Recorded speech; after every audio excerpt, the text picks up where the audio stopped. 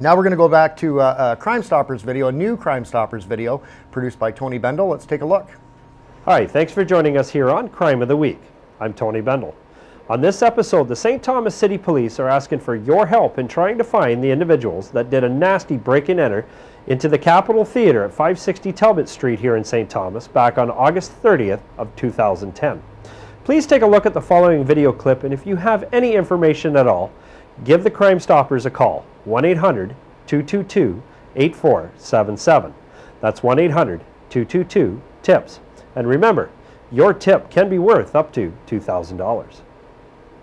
Sometime overnight of August 30th, suspects cut the chain at the back door of the Capitol Theatre at 560 Talbot Street.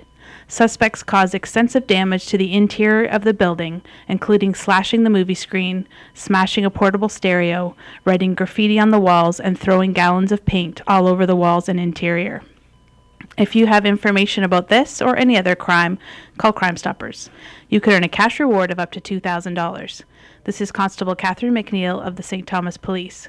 By calling Crime Stoppers, you will never have to reveal your identity or testify in court. Call Crime Stoppers at 1 800 222 8477 or submit a tip online at stthomascrimestoppers.ca.